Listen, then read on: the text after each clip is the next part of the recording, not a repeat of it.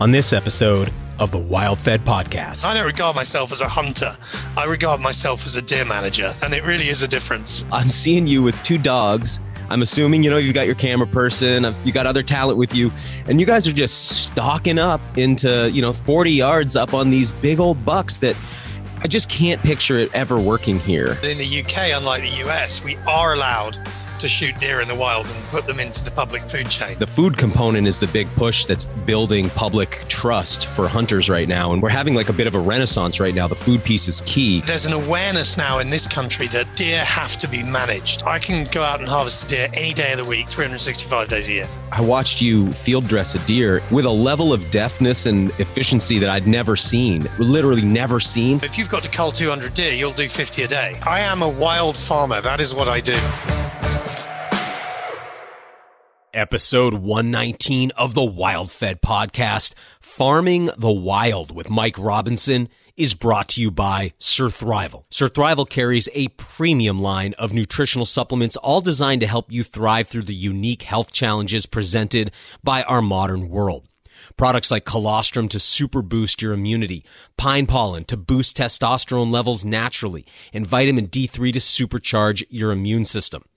Right now until February 15th, get an additional 15% off Surthrival's Valentine Day specials. Products like Taboo, Surthrival's premium libido boosting formula made with velvet antler tribulus and rich dark chocolate, or beautifying Schizandra berry powder grown right here in the USA. Even Surthrival's flagship elk velvet antler products are on sale now. Head over to surthrival.com to check out the entire lineup. Surthrival. Why just survive when you can thrive? This episode's also brought to you by Wild Food Warehouse. Wild Food Warehouse is your preferred source for hand foraged wild rice. They also carry a beautiful line of hand harvested berry and plant powders from the northern latitudes of Finland. Their blueberry, lingonberry, and spruce tip powders are all sourced from pristine lands north of the Arctic Circle and packed in light resistant, nutrient protecting violet colored Miron glass. And they've just added a new 150 gram size that's three times more product at a significant savings. I love mixing a tablespoon of these powders into a liter of water water, squeezing in some lemon, and adding a little stevia to sweeten it. It makes a super refreshing and hydrating drink, and the rich color and flavor of these powders lets you know you're getting mega dosed with antioxidants and key nutrients like vitamin C. Head over to wildfoodwarehouse.com to check out their selection of Arctic sourced fruit and superfood powders, and of course for hand harvested wild rice too. The coupon code WILDFED gets you 10% off your order. Again, it's Wild Food Warehouse, and the coupon code is WILDFED. I'm Daniel Vitalis, and you're listening to the Wild Fed Podcast, a show about reconnecting with nature through hunting, fishing, foraging, and food. Wild Fed. Food is all around you. I've got a fascinating interview for you today, one that's taken three attempts to get recorded. That's because our guest, Mike Robinson, is in London, and we've just been buggered, as they say, trying to keep the transatlantic internet connection going.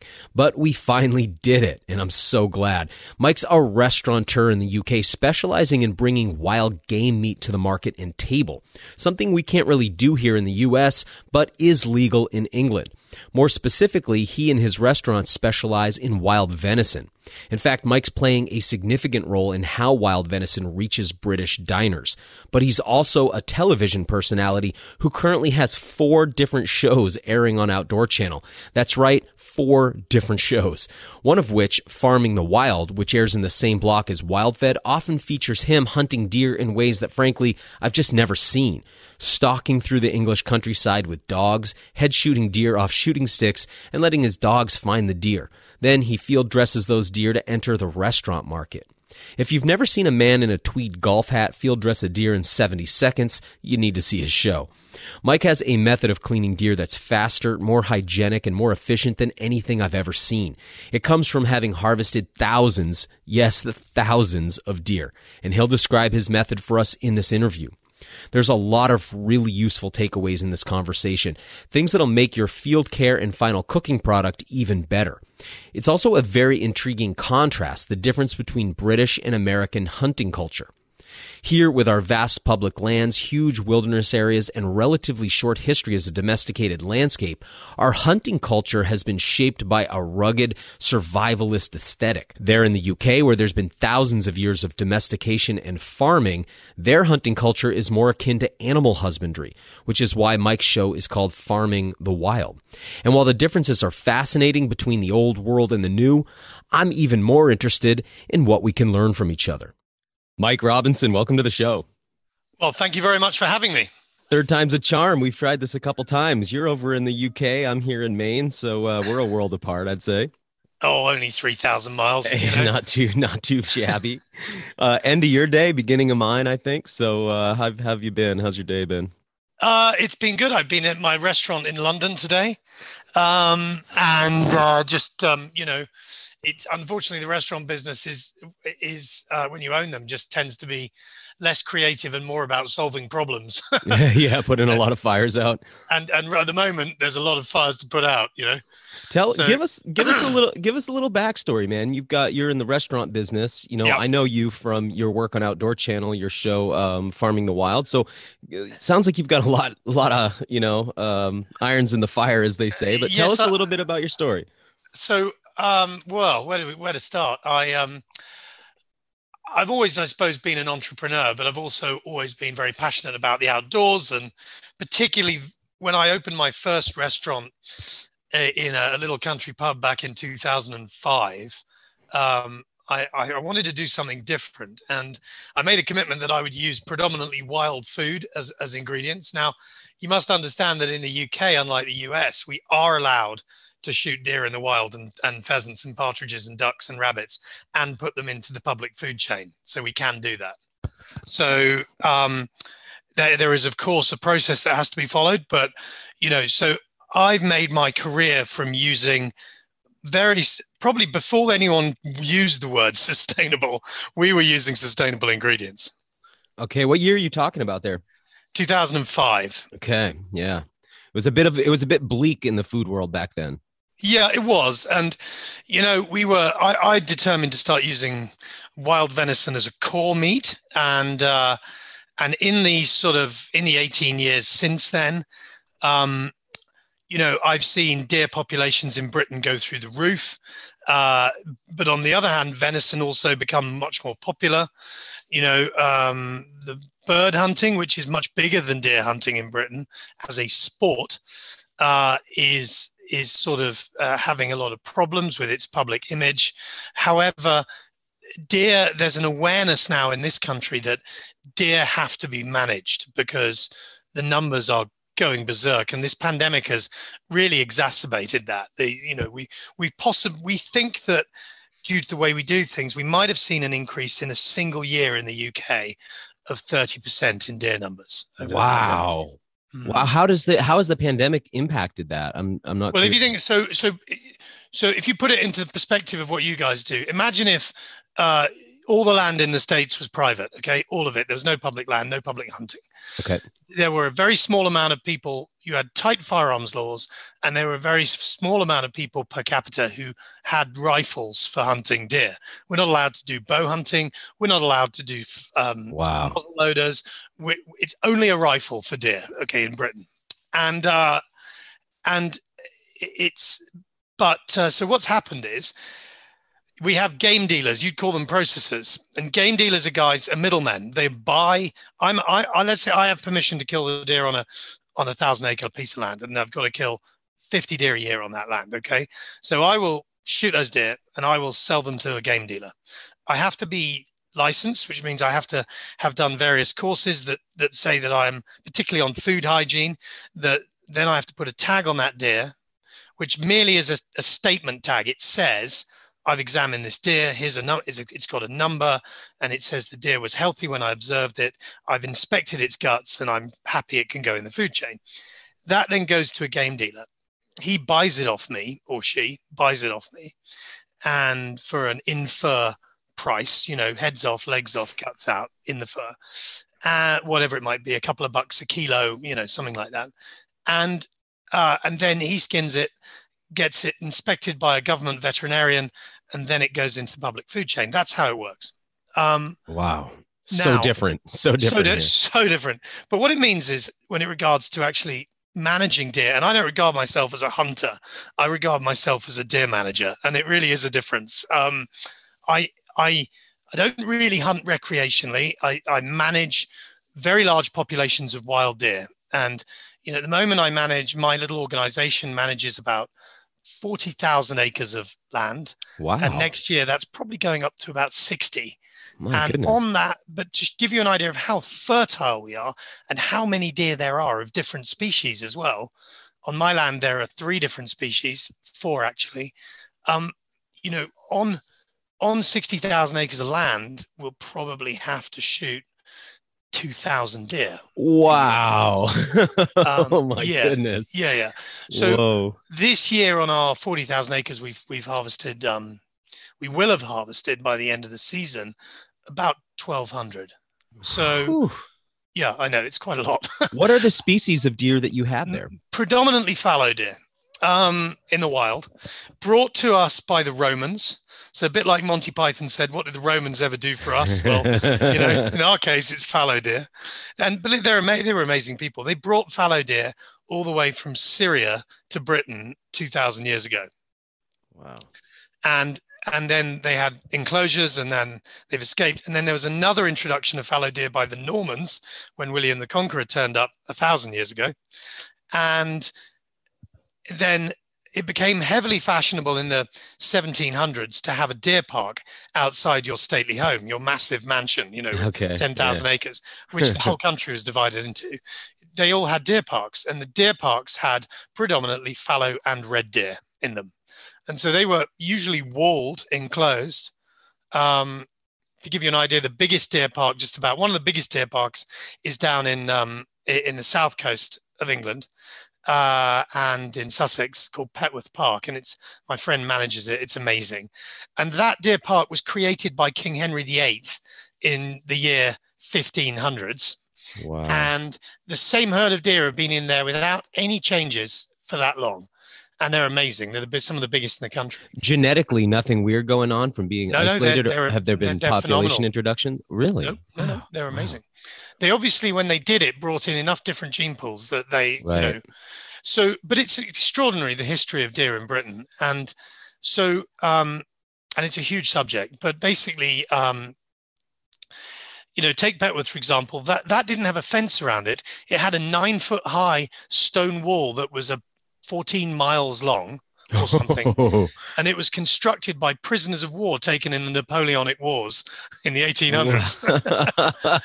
um, so it, it's fascinating. So deer are very important to our psyche, and I'm I'm generally talking to you about England, Scotland, by the way, which everyone re- associates with deer and Britain, is managed completely differently. And oh, okay. and and so I'll focus on England because that's what we do.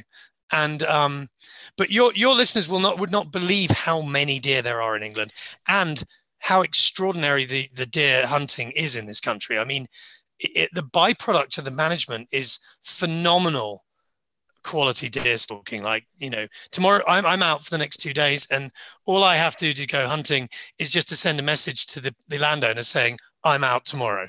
That's it. Yeah.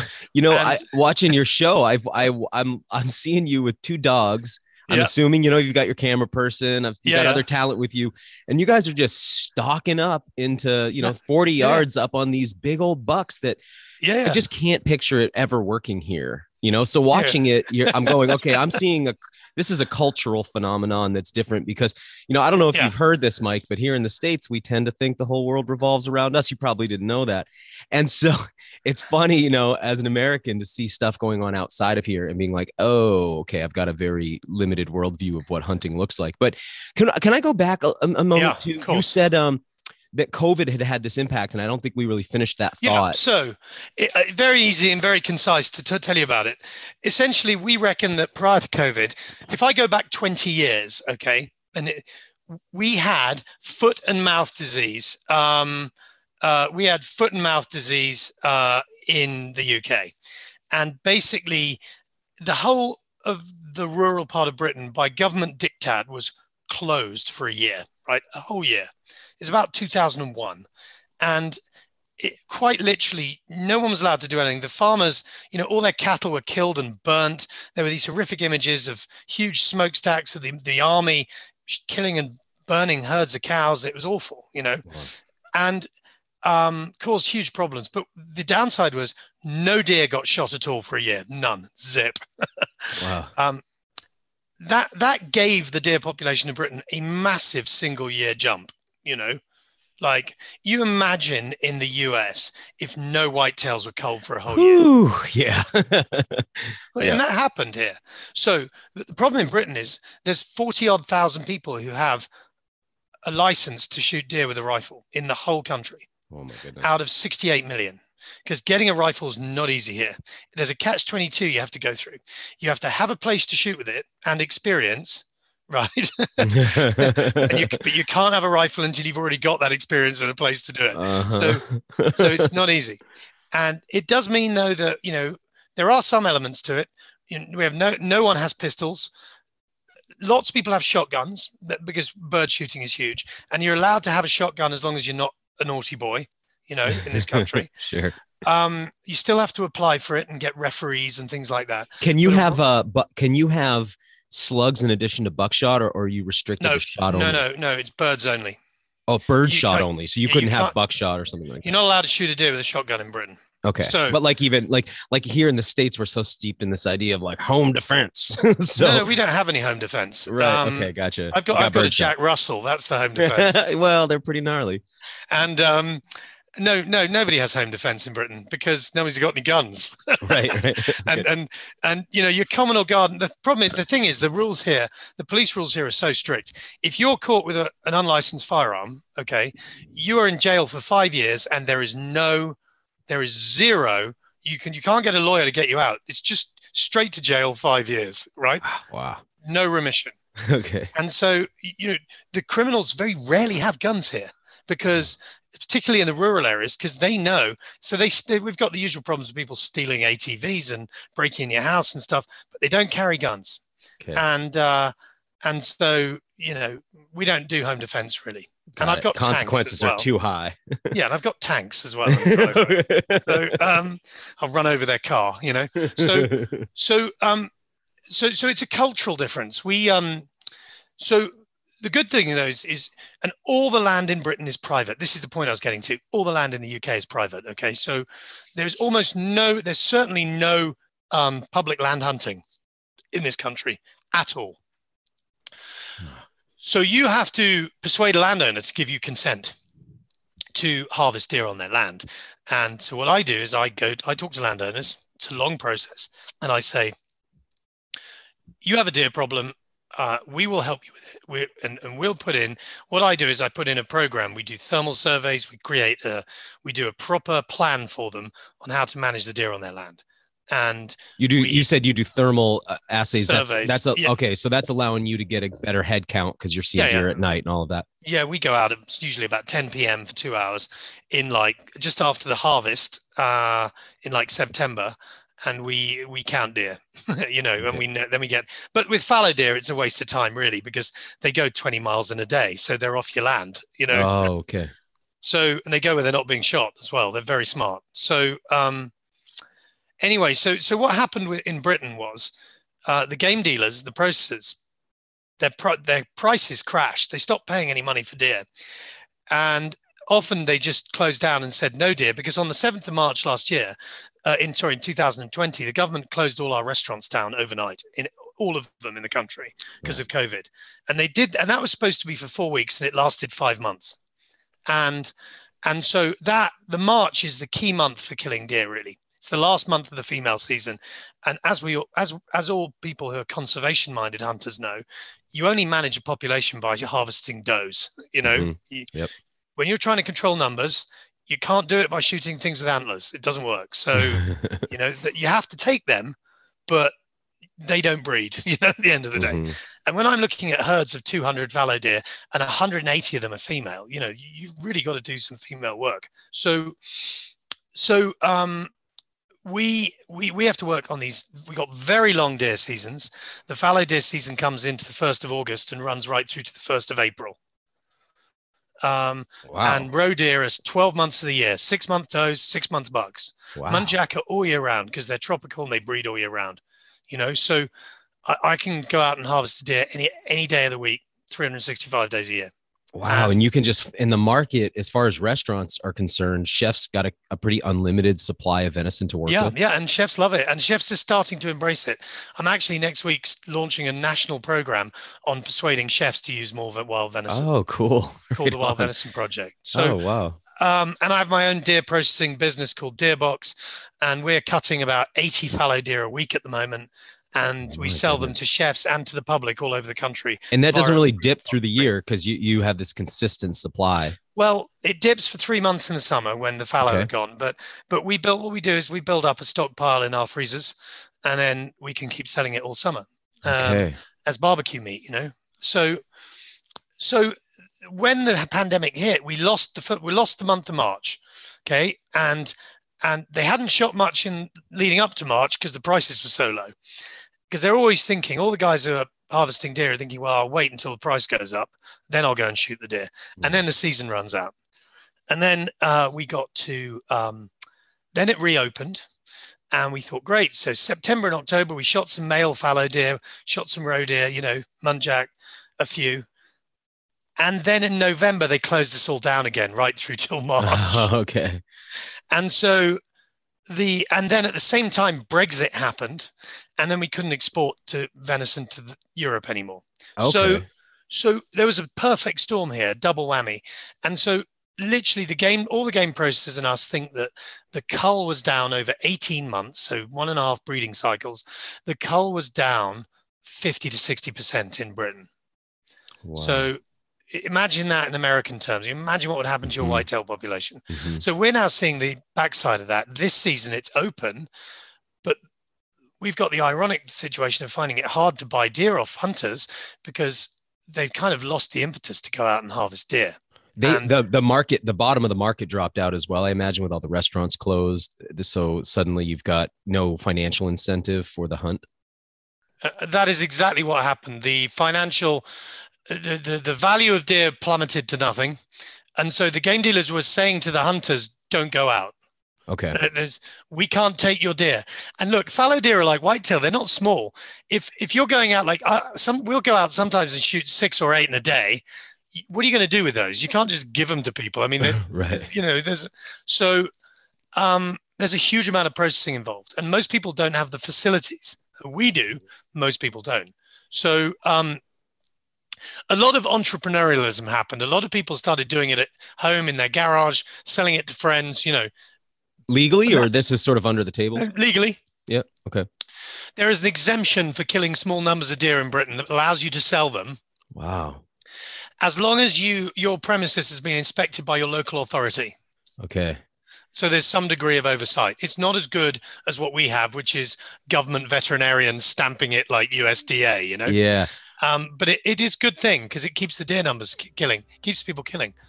Um, What's been it- the imp- what's been the impact for the for the landowners who many of whom I assume are involved in agriculture? Has this spike in deer numbers been catastrophic at the depredation level? We'll get back to the show in a moment, but first, if you still haven't seen season one of the Wild Fed TV show, you can now stream all 10 episodes on demand at myoutdoortv.com. MyOutdoorTV.com is Outdoor Channel's premium online subscription service. They host thousands of episodes of hunting and fishing content, making this a great subscription service for anyone interested in the outdoors. But if you just want to see WildFed, grab yourself a free trial subscription and then check out all 10 episodes at no charge. If you decide to keep it, it's just $9.99 a month. We're currently in post production for season two of WildFed, which is shaping up to be an awesome season of new episodes. They'll start premiering on Outdoor Channel in the next month or so.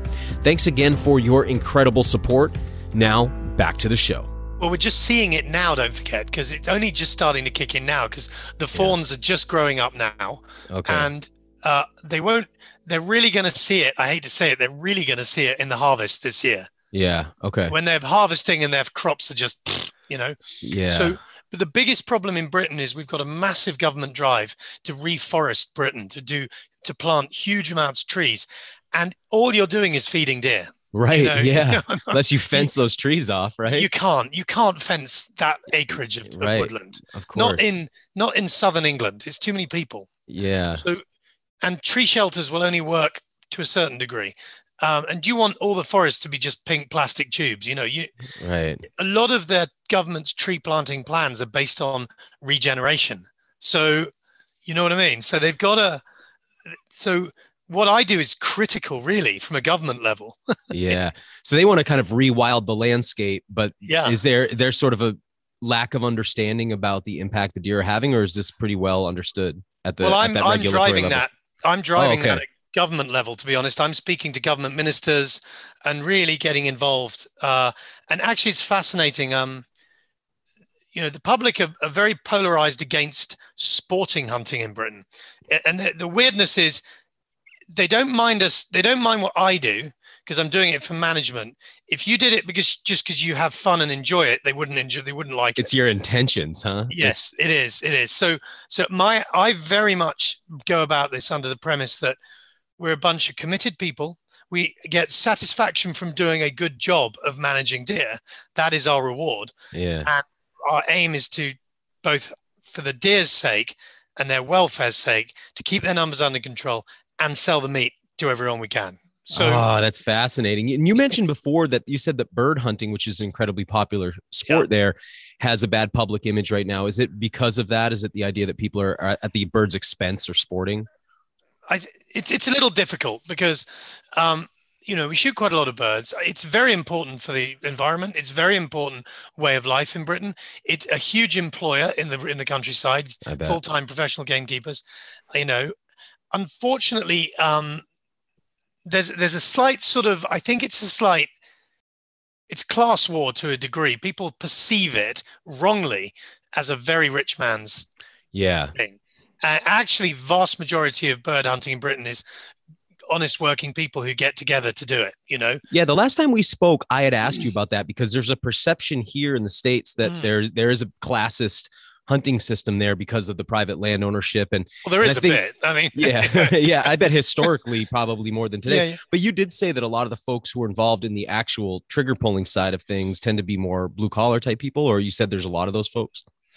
It's an incredibly even cross section of society. Okay. On my land, the way I work is I have a couple of full time deer managers who oversee everything, who we pay a salary to. But then we have a group of volunteer. They pay us a little bit for the rights to hunt the deer. Okay. And that allows us to have the carcasses at very little cost. And that's how the Yeah. business works. But they get the pleasure of harvesting the deer in return for a small fee to us. But those guys come from every walk of life, from every social level, you know, and they just are united. And there's no, none of them feel better than anyone. Everyone's, you know, they all meet up in a little room, have teas and coffees covered in mud, and they're all the Yeah. same level, you know. yeah, right. Hunting is a great leveler. yeah, yeah, exactly. Very the easily deer- understood. The deer doesn't don't care how rich you are. You know what I mean? right. So one question I have for you, uh, you've got your show Farming the Wild. I want to talk a little bit about the philosophy that underlies the title, which you've Mm. kind of been hinting at throughout everything you've said here today. Mhm. But more so, I'm curious how and why you're doing it because it sounds like you have a lot going on between the restaurants and Mm. the processing and all of that. So what's motivated you to also make a TV show, which which I know is is a quite a bit of a, a, a time intensive project. Yeah, well, I mean, we're now making four TV shows Oh, for our no channel.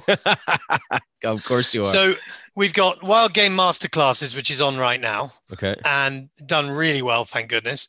And I've also made Fishing the Wild, Oh wow. which okay. comes to your screens in about a month and a half, uh, which is the same format, but it's exploring sustainable use of marine and aquatic life.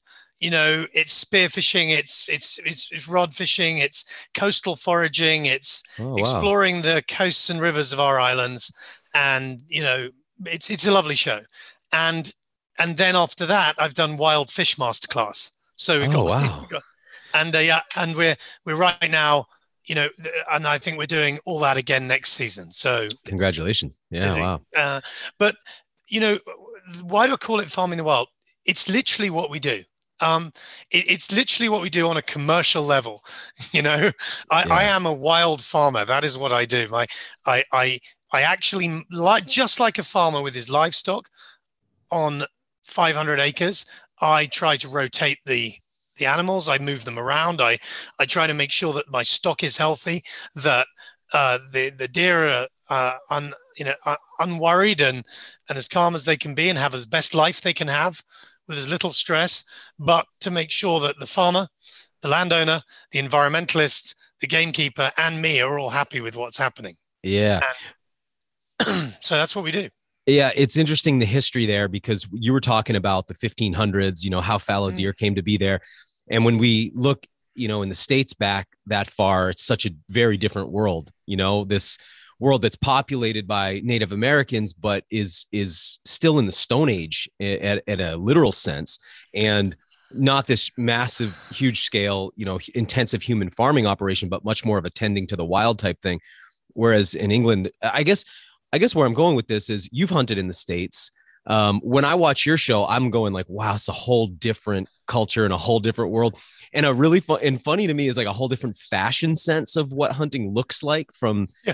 the exterior, you know? It is. And it then is. you come over here and the I, am curious because you guys are so famous at taking the piss out of everything. I, am curious just how you guys perceive, um, you know, but behind the scenes, how do you guys perceive American hunting? Because it must well, seem I, a little bit silly and funny sometimes. Well, no, you know what? It really, I've spent a lot of time in the states, and I've hunted with quite a few people, and I love there's there's there's an enormous amount of that in the states that I would rather was done here.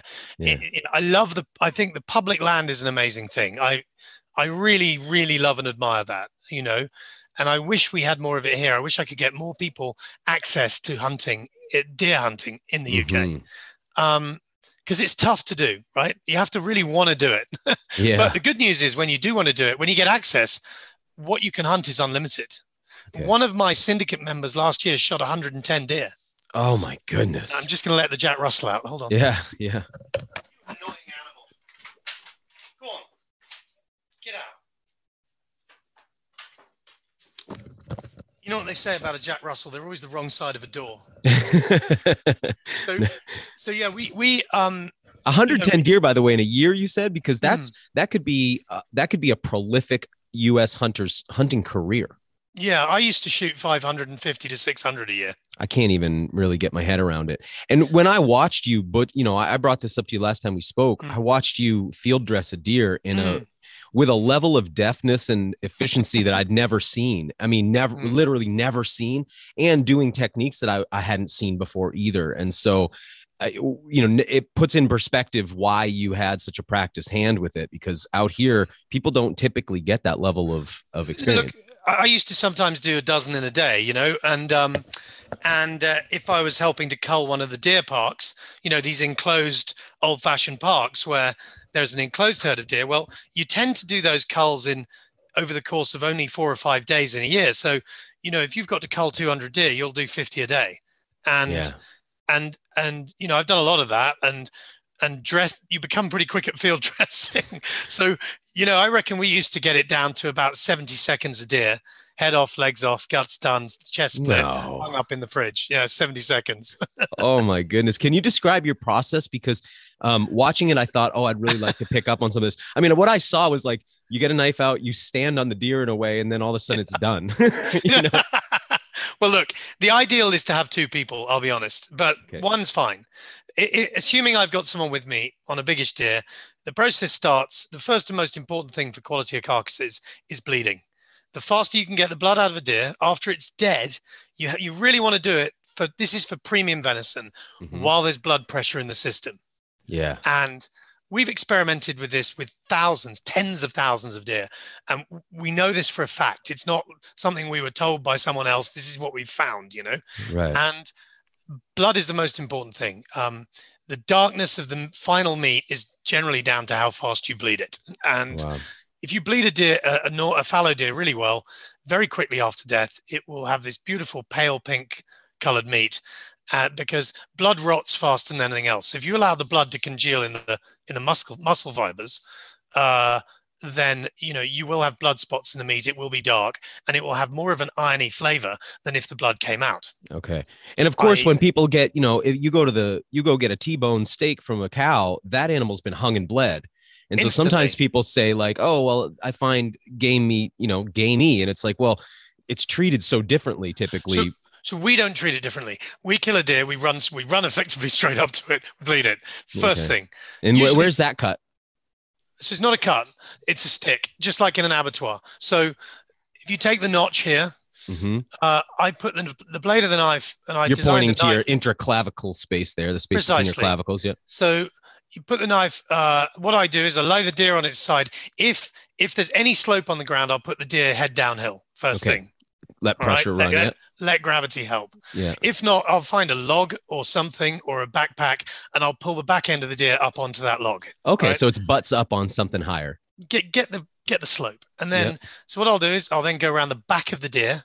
So I'm looking at the back of its neck, lying on its side. Okay. Okay. I will then lift up the front leg, the upper front leg, reach around, put the deer, the, the knife straight down that line there, push it five, six inches in until I get right in, and then I wiggle like crazy, and that will cut the aorta.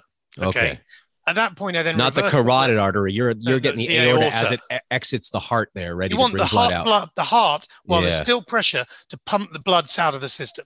Got it. reverse unzip the side this is the important thing Okay. not straight up the center to the chin up the side so you're not rupturing the trachea and the esophagus okay Okay. and then- Bacteria and stuff in there. and then cut the whole cut it out up here and flop it out to one side and then any green stuff goes out into the grass not into your Ah, carcass okay, so you're dropping the from up high. You're dropping Yeah. the trachea because all that's bacteria in there, right? You don't want to get all that contamination, so that's hanging out. it's green and bitter and biley so Yeah. so right that's the first step you, you're good then you know you bought yourself 20 minutes half an hour because Okay. as long yeah. as you haven't done a shot that's ruptured its guts or liver or anything like that, Yeah. you've bought yourself some time. The worst that can happen at this point is it will blow up a bit.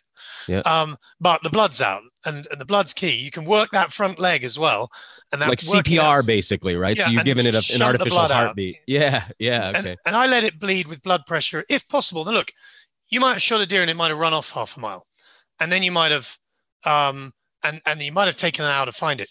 Say la vie, but still bleed it as quick as you can. You know. Mhm. Yeah. Um, the uh, the- the so this is all rifle hunting I'm talking about. We don't do any bow hunting in the UK. We're not allowed.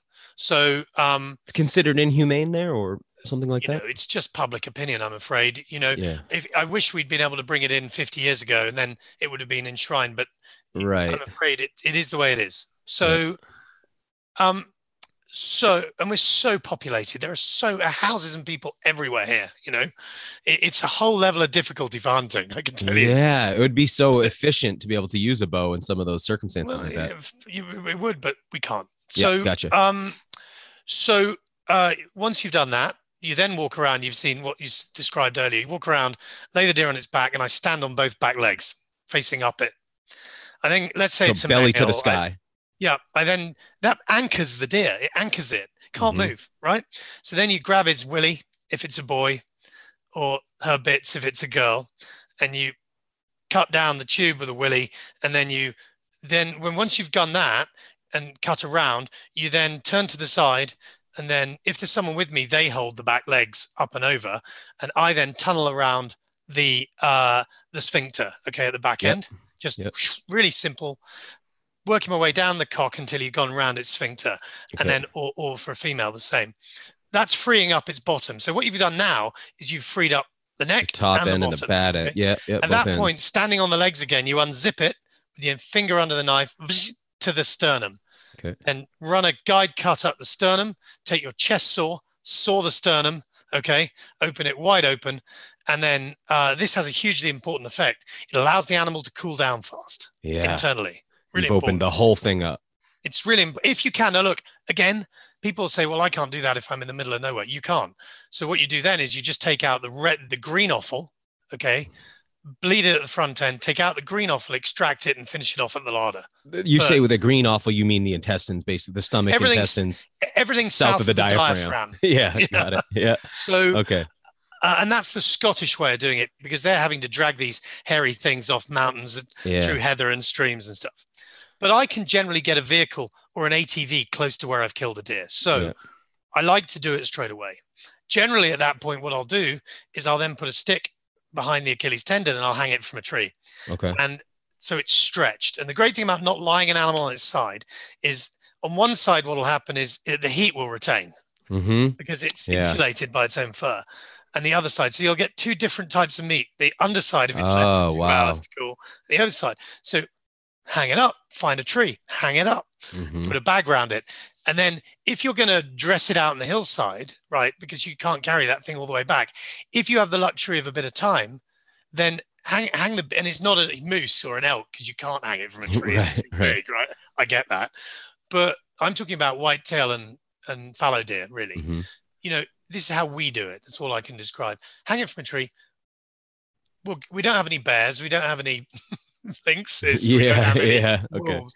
So we then leave it and then we'll come back to it when we finished hunting and it'll have cooled down naturally and then it goes in the chiller. So okay. So then your forest area starts looking like it's got ornamented because you got 50 deer hanging on the well no what I do time. is what I do if I hang it, I hang it well away from any footpaths and then I cover it with foliage. So Oh, no can kidding. Yeah. Yeah.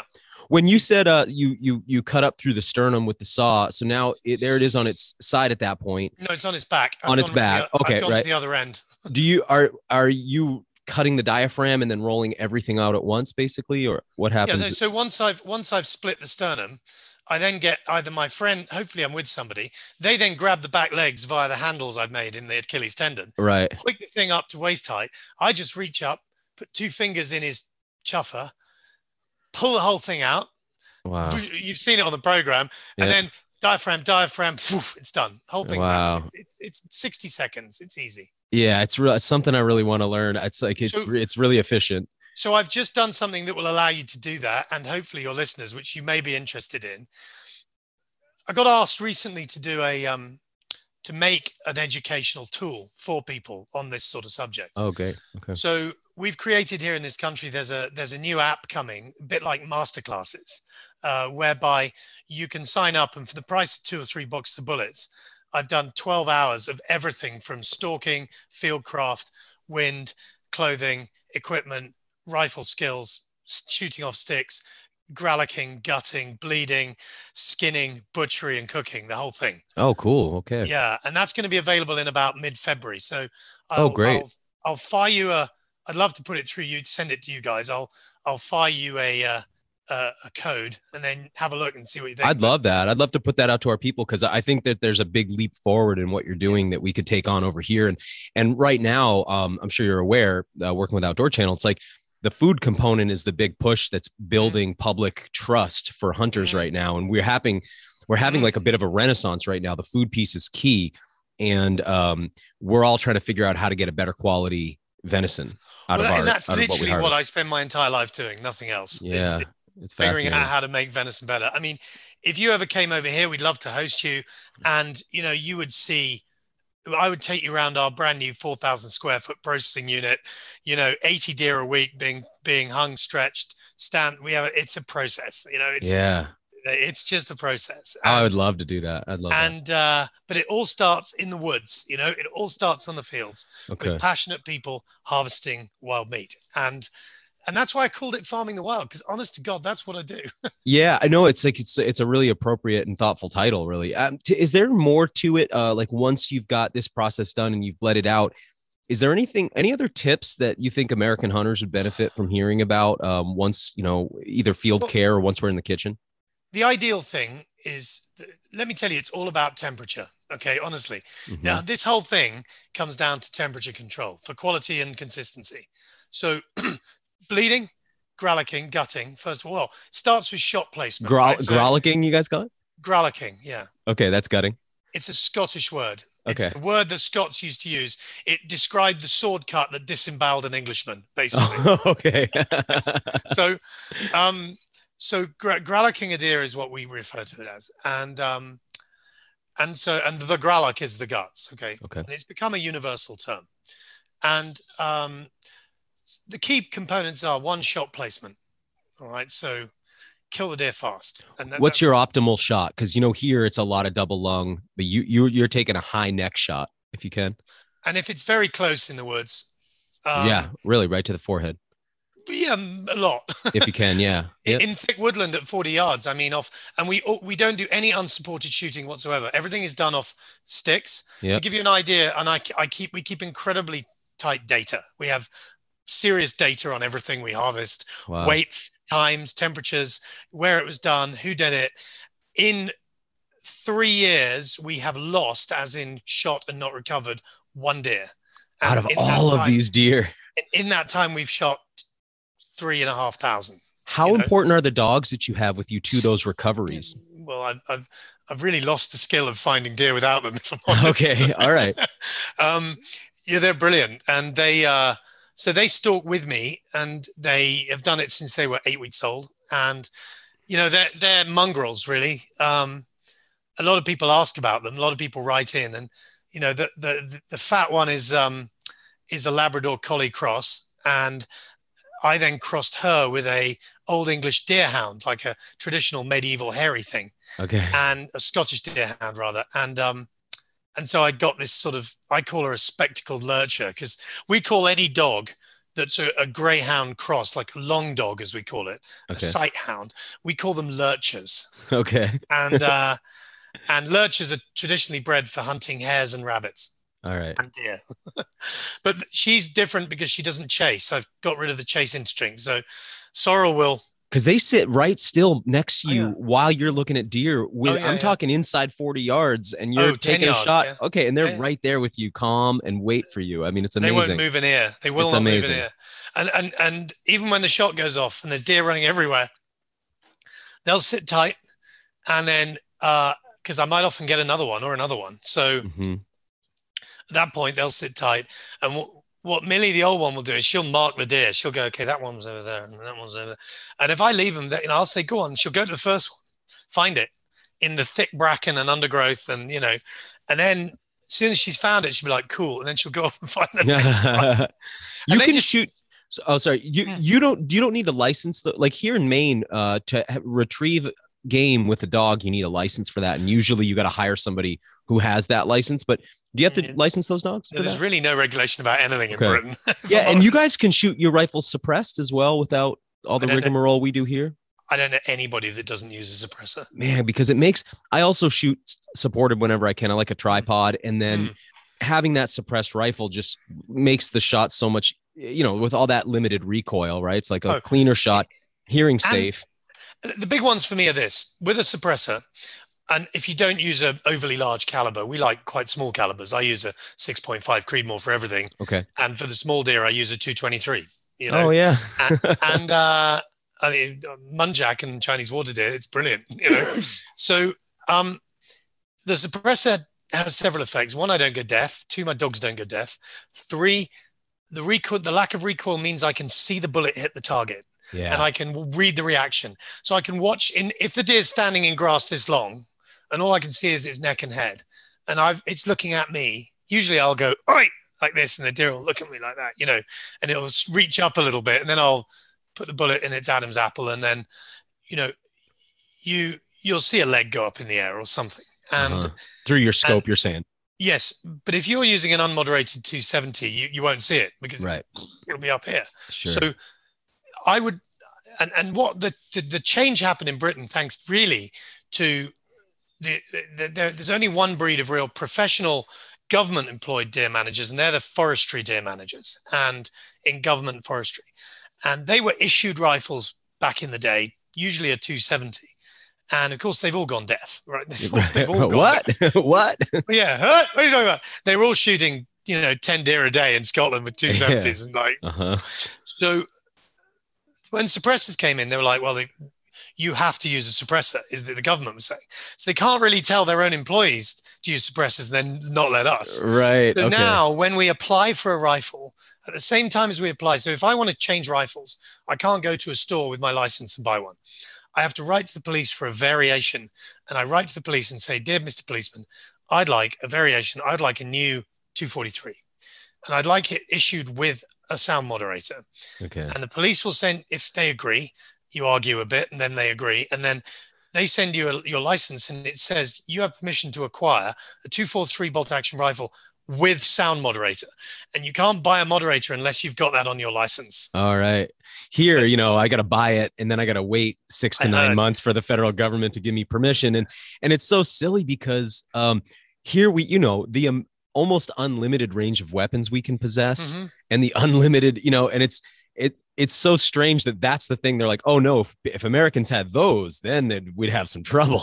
They, they've seen too many movies, is the problem. yeah, Like exactly. a, where where a sound moderator, a suppressor goes, you know, yeah, actually it's maybe out of my 22, it's but like that, you know, and Yeah. it, it it's it's quieter, but it's still not quiet. It's I nice. mean- Another thing they do that we didn't mention was it's nice uh dawn and dusk when you shoot and you don't have that quite as much muzzle flash. Oh, and absolutely. It keeps your vision intact too. I It- really it like also- that. It also doesn't offend the locals. yeah, Um, right. you know, we, we're busy. I mean, we're busy, a bit like, say, New Hampshire is busy. We're busy, you know, yeah, lots of people, lots of houses. yeah. So, but we have a few nice things because it's all private. We don't have to wear orange. Um, Oh wow. yeah, we, we, we, uh, we are very, you know, I tend to be, try and be very low key. So I tend to wear neutral green. I, I wear camo when, when I really need it. Like if I'm sitting in a high stand and I know there's mm-hmm. deer around, I'll put camo on, but generally I wear plain green and and a, a tweed hat like that. you know. I lo- I just got it. I just loved you wearing one? that hat. I was seeing you on that show. I was like, I feel like I'm watching The Shire and Lord of the Rings here, not a hunting show. You know, it's it's so that's one of those differences because here every guy wants to go out looking like Rambo, you know, and Yeah, we, we- have we- this we actively don't want to look like that. right yeah it's like a, this really interesting cultural difference you know Yeah. that i think is fascinating And um and of course the truth is, you know, you can perfectly adequately your granddad hunted deer in a red check shirt and a pair of jeans. right yeah works great yeah, works great. So but look, I don't knock camo. Camo works really well. yeah Camo has incredible uses. And and I just don't see it as a fashion statement, that's all. You know, yeah I, I, I like camo for when it's needed, and it, it has seriously has its uses in Scotland on open hillsides, and there are different patterns that work really well, and I embrace that. You know, I love it. But generally, when I'm hunting in lowland Britain around lots of people, I want to be perceived as very unthreatening. which is So- the kind of camouflage unto itself isn't it that's kind of the So, essence of it because you're blending in with the populace you know So, so I'll wear technical. You know, I use the Forloh gear a lot. It's brilliant. It's light. It's really, really good. Um, and their plain green stuff is the best I've come across. did you say Uh, furlough Forloh? F O R L O H. Yeah. Made in the us i believe Yeah, it? entirely. It's really good stuff. And uh, I worked with those guys since the beginning, and I, I really like it.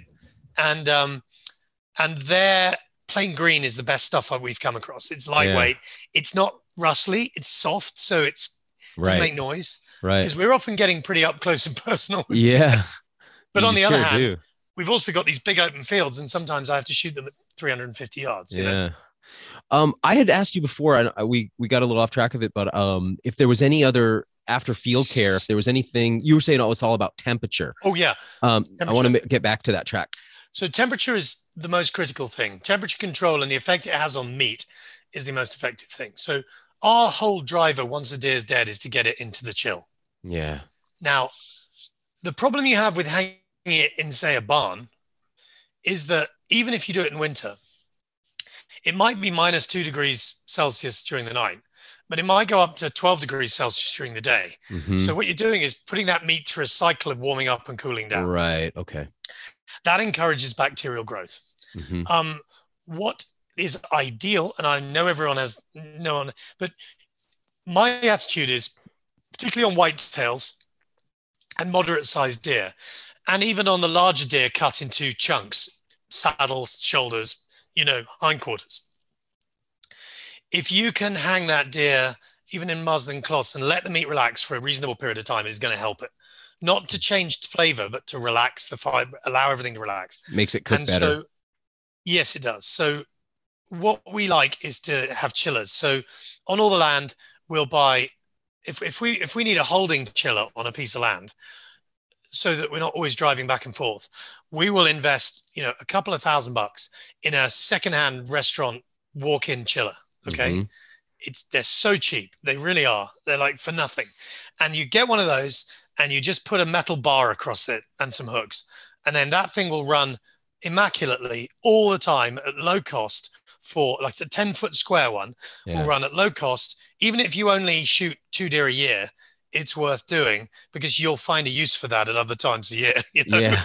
Have Have you found it? What's your ideal? Te- yeah, exactly. What's your ideal temperature that you would want to stay consistent at? One degree centigrade. Oh wow, wow, really? So just above freezing? No kidding. Set the meat, let it relax, and at the maximum we want to keep it at is four degrees centigrade. Okay, one to four. Wow. Over four, you get bacterial growth. okay. And um and the other thing we we so what we do is we we we're willing to wash deer carcasses out particularly if they're full of blood or dirty or contaminated. But generally what we do is we wipe them out so that we Keep them don't get them too i'm not really this isn't this is a big i think fallacy. People say you mustn't wash a carcass. It's not actually right. You you you, you know if you if you go to an abattoir they will gut a, a cow and then they'll wash it out. Okay. Yeah.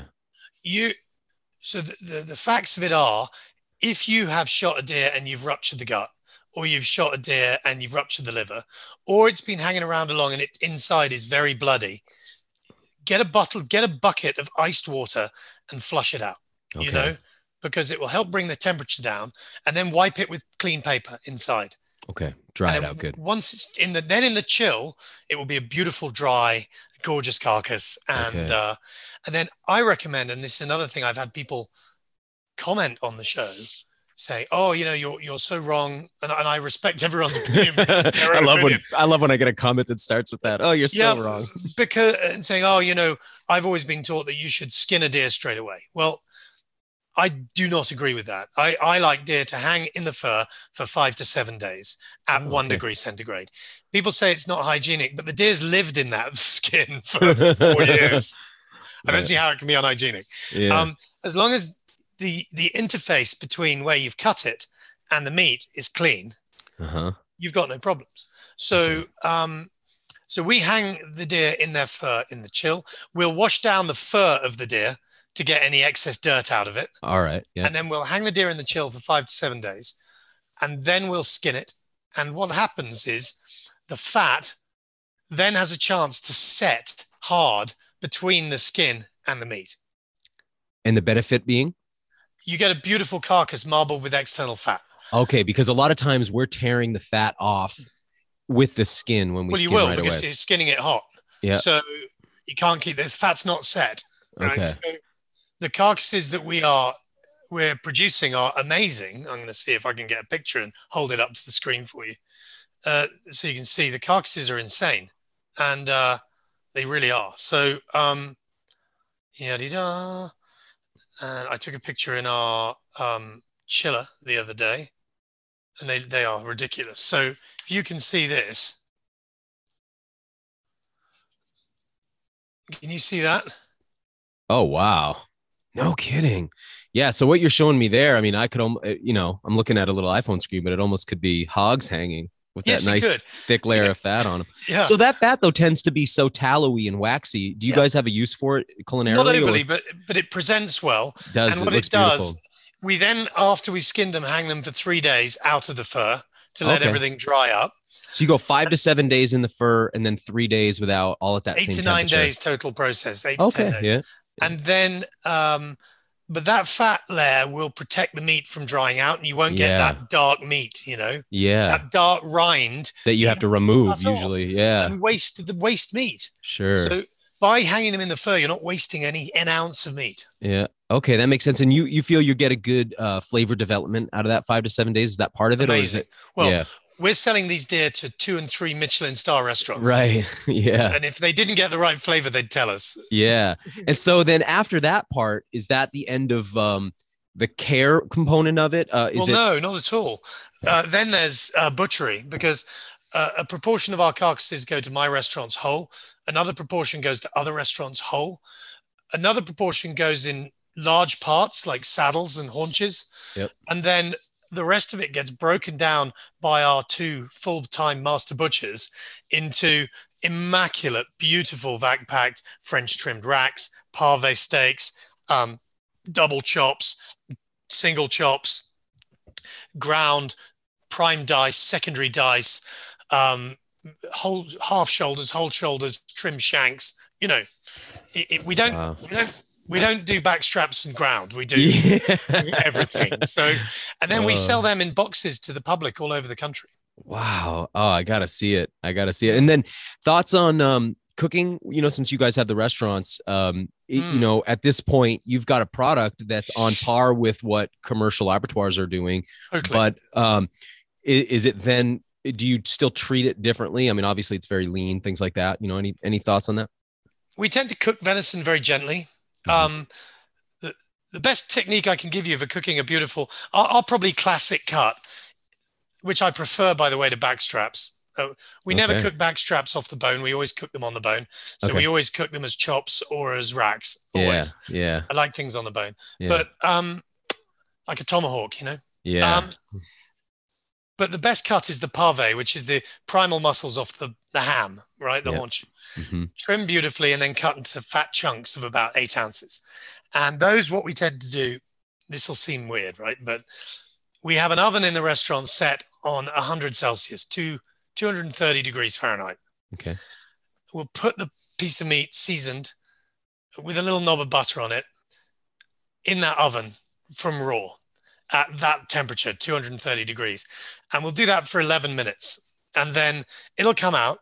And at that point, then it will go into a pan with foaming butter, rosemary, and crushed garlic, Mm. and salt and black pepper, and be smashed in the pan, right? Huh. And then and then it will be rested only for a minute in the pan until it's golden. Instant reverse sear, boom, and then it will rest. And then we carve it across the grain, and it will be absolutely consistently the same shade of pink from edge to edge, with zero red in the middle and gray on the outside. Oh my goodness. Good technique. oh my goodness yeah i gotta come out there i i, I want to see all of this you know and i, and I would i'd love to like kind of walk alongside and, and learn some of these techniques Yeah, we'd love It's- to show you. Yeah. yeah it's fantastic well tell us about what we can expect in your upcoming uh, show season and um and you know any kind of adventures that you might have coming up on the horizon I- as well So I um, so we're we're, we're halfway through filming season four of Farming the Wild, which will come out this this September. okay Of which I filmed four or five episodes in the US, which is really good fun. what where'd you go I went to Florida. do you work with Uh, mike down there mike kimmel Yes, I did. Yep. yeah i just got back from i gone down twice with him now and uh what How a was it? character uh, it was good the first time well i don't want to say too much because we got our episode about Oh, to yeah, launch but uh but you know He's I- amazing. the idea of working with a dog to uh, find snakes is pretty amazing amazing. Otto. Uh moose is who i work Moose with was the but he, one. otto's the other one yeah Otto's the swimming iguana dog, isn't he? yeah Yeah. yes yeah Um, so he's an awesome guy and a delight and a wonderful, lovely gentleman, and and doing a really great job on invasive Yeah, species down there. he really is Um, he really is raising awareness. I think huge respect for him. Um, we also went with a a great mate of mine, some really awesome guys, and I found out the guy called the Ta- the guys called the Townsends, and I found out all about alligators, Mm. about you know how the problem alligators are moved on, how they're used. We went to an alligator processing plant, which was just like my deer plant. You know the way they did oh it, Oh, cool yeah cooked it, went frog gigging. oh you Uh, oh, Oh, yeah, that nice. was awesome. Uh, went hunting hogs in the swamps. yeah And then before that, I was in Texas and I, with a great friend of mine called Jay Lion Decker, who's an amazing guy. And we have known for years. And we were down near Laredo, right down in the hot stuff. And we were hunting again, hogs, whitetails, uh, and then uh, nilgai. oh yeah how how'd you Yeah. like that nilgai meat i haven't had Oh, it God, before it was amazing. Is it yeah oh, it's a yeah. giant giant blue antelope huh Well, I should know. I, I, as always with farming the Wild, I ended up shooting a female. yeah yeah well that's the better we, we never man. we never really do anything with male deer. Or, or I, I was gonna ask you before. Do you, you know, out here it's like everybody's got the antlers all over the walls, like it's like a big, you know, pissing contest. Are you guys collecting? You know, you were talking about taking headshots. I was like, oh, that's interesting. I'm always trying not to No, damage don't, we, don't, skulls. we, we don't do anything for antlers. I mean, my personal goal on all the pieces of land is to have wonderful genetics and beautiful animals Yeah. with big antlers. yeah, But we do we don't do any sporting hunting. We don't sell any hunts. Yeah. Uh, I like to look at them, and then when they're past their prime, I'll shoot them. yeah. It's interesting because it, it's a more matured hunting culture. Just being the age of the country and how long people have been at it. There, it's like it's interesting where priorities kind of shift over time. you yeah, know? I mean that's also my ethos personally, and I'm Mhm. in the lucky position to be able to enforce that on my land. right, know, right, right, right. I I I don't want to encourage a culture of looking for big antlers. Yeah. I want to I want them to be there and they have to look, I'm nothing against it. They have to be harvested, but I don't want to harvest. So we don't, here's another thing that f- probably you find really weird. We don't shoot any male deer in the rut at all. okay. I mean, that makes sense actually to me. You know, They're dreadful to eat compared to out in yeah, rut. yeah, it's So gross. we try and do our male harvest before the rut. yeah, So any old bucks that need to go, we'll try and harvest 'em them early. They start rutting, right? I've always wondered about that because man, do they stink? And you know, Well- it just they get they get too lean. They, they I mean, I get it why people do it. I get the primal urge to take an animal with big antlers. I really understand that. It is a primal human urge. Yeah. However, we are, our, our, you know, our driver is population control and meat. right. So, but we're still trying to create wonderful antler. I mean, I could in Sept, you come to my ground in September, we got a 4,000 acre woodland Yeah, and you'll see fallow bucks that will blow your mind I bet. I bet. every year.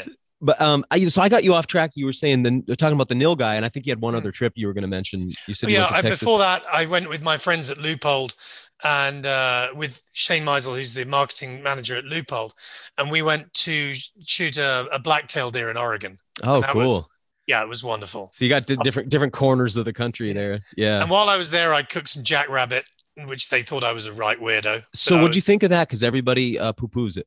It was amazing, Yeah. and. I got the I got the professional hunting guide admitted it was amazing. Yeah. Good. I I I traegered it, brined it, slow cooked it, pulled it, made it into a chili, and we had it in tacos, and it was It was, Fantastic. it was next level. I just don't. bel I, I just have not found it to be true that you know people talk about trash species out here all the There time. aren't and- they? yeah, I haven't really found it. I mean, some things require some specific technique, but Yes, just do. about every living thing becomes pretty nice when you do it right. Well, so- dude, it does. Even a squirrel, and that's tough. Oh, I really you don't like squirrels? That's my favorite. Seriously, Britain probably has the best squirrel hunting in the world because nobody shoots them, and they're a huge problem.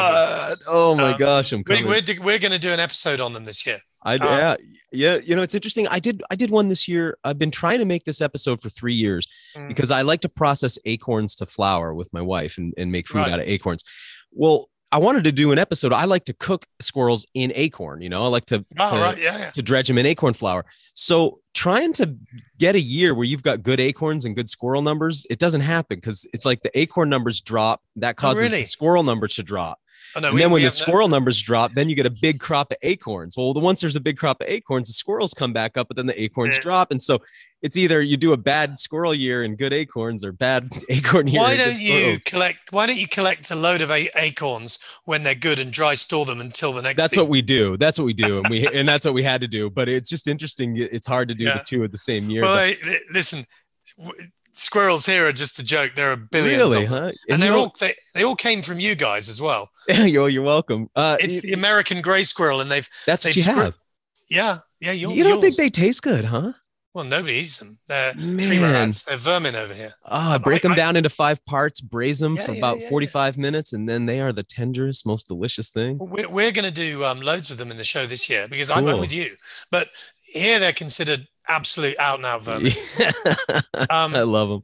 yeah, no, me too. And and you know what? They you should, they only eat the best stuff, right? I mean, Yeah, they, that's it. they're not. They, they, they might be basically tree rats, but they only eat the good stuff. So, yeah, you know, here one of the issues with our deer is they're getting into GMO cornfields, they're Mm. getting into lots of Monsanto Roundup Ready, they're getting all these kind of, you know, they get they bioaccumulate toxins. Squirrels, it's like they eat so clean. I love that about them.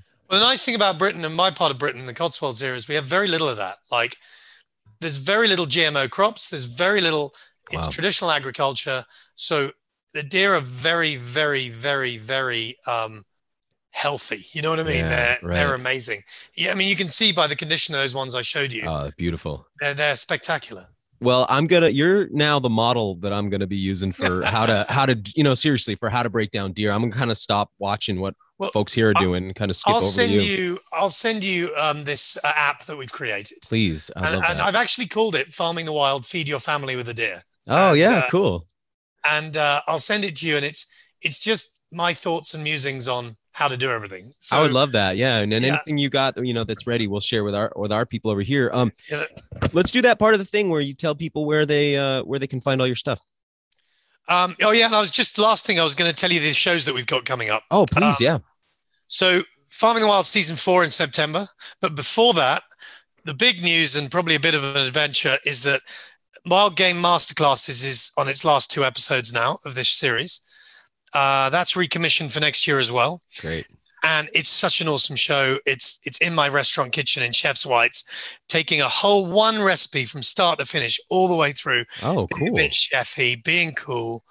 Mon- this Monday on uh, next Monday on on Outdoor Channel, seven o'clock Okay. and it's a great show. We love it. And um, I'm doing Fishing the Wild. So Fishing the Wild is my journey around the British Isles, and that starts sometime in April.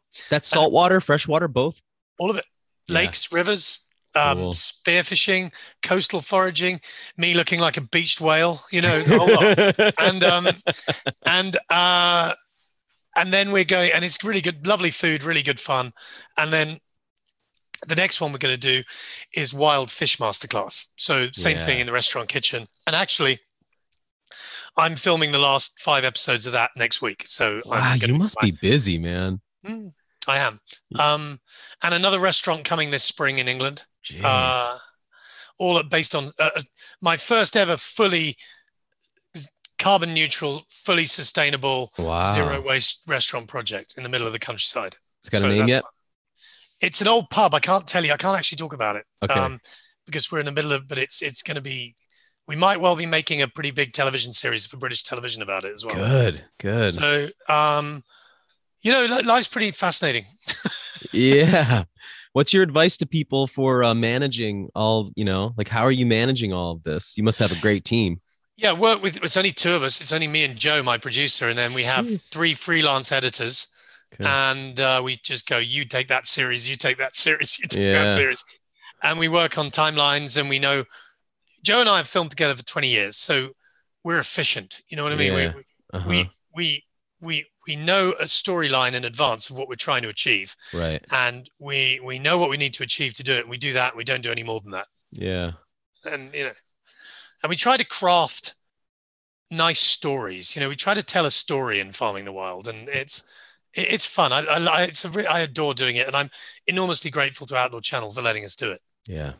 Yeah. They're pretty amazing, huh? Like they. i uh, love them i love I just can't amazing. believe how easy they've been to work with. It's, it's yeah they're wonderful to work with and Mhm. um and and look congratulations on you guys too you know Thank it's you. great it's great you know when i f- the first season of this was four years three and a half years ago now with farming the wild and and it, it you know it was a new type of show back then and it's it's it's it's so good that you know outdoor people like scott leysath who's been doing has Yeah. been pushing this on outdoor channel for ages these guys really started this whole ball rolling and now you know it's great to see outdoor embracing the food culture around wild food Yeah. know? Yeah, I'm just really hoping to see that demographic grow because the Yep. the shows they're bringing in are definitely appealing to a new market. You know, and and they really are and and and i think it's totally awesome that um that it's happening and I, i'll keep doing it as long as they want me to you know yeah, it sounds like they want you to for a while. well Uh, all right, so how do people get a hold of all this incredible content and uh, these other products that you're talking about and all Well, of this? Like, where do people so go? farming the wild and its other and fishing the wild wild game and wild fish masterclasses are out uh, basically on most mondays this year on outdoor channel Cool. as Yeah. far as i can see around seven o'clock not sure if it's eastern or central time Mhm. Um, then uh, soon I'll have the Fieldcraft app out that will that people can then buy into and and and have on their smartphones and take with them and and really follow all the tips and hints to make you a better hunter. You know, Yeah. Yeah. and then that's coming out. Um, if you come over, anyone watching comes to England, please come to my restaurants. I'd love to see you. Yeah. Send me an email through farmingthewild.com Yeah. and um, you know we've got four restaurants, soon to be five always venison on the menu and um what else uh, you know that's about it really um you know i appreciate everyone who watches and you guys for letting me come and do this and uh you know if you guys you wild fed guys ever want to come to britain and hunt with us we'd love to have you Yeah. Oh, we, we're you're gonna regret that because we're taking you up on it. no Uh, do, honestly do too. Yeah, we will. Hey man, thanks so much. I'm glad we finally got, you know, for people Me listening, man. this It's is the third great. time we've tried to do it. I we had some uh, some issues getting across the continent like this, but um, yeah, it's been great to talk to you, man. Thanks so much. And you, thank you so much. And uh, if anyone wants to follow our journey, it's I'm my Instagram is Game Meat Mike, and uh, otherwise it's Farming the Wild. Fitting titles. Thanks for listening to the Wild Fed podcast. Help us grow this show by subscribing and leaving us a rating and review. It ensures better rankings and more advertiser interest, which translates directly into better shows, more awesome guests, and a constant stream of fresh new content. Have a question you'd like answered on the show, or a hunting, fishing, or foraging trip you'd like to host us on? Email us at info at wild-fed.com. If you still haven't seen season one of the Wild Fed TV show, you can go to myoutdoortv.com, grab yourself a free trial subscription, and then check out all 10 episodes. Season two of Wild Fed premieres on Outdoor Channel in early 2022. And be sure to visit our website, wild-fed.com, to check out our store for Wild Fed hats, stickers, and more. Wild Fed. Food is all around you.